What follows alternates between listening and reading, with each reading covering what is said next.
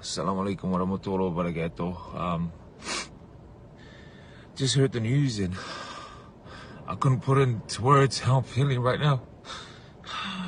Um, just sending my duas to the families. Apparently, there's close to 30 people dead. Um, uh, just,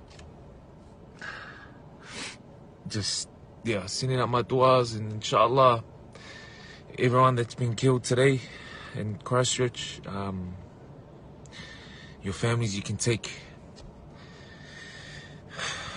Just, yeah, just sending my duas to, to, to your loved ones. Um, inshallah, you guys are all in paradise.